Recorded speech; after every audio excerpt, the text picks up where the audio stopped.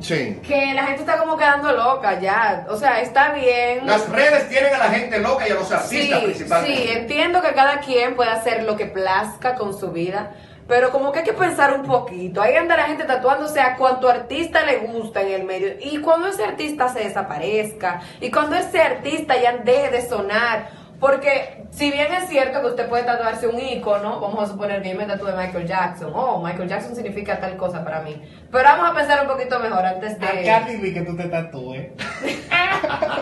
Ah. No, no, no, no. Lírico en la casa.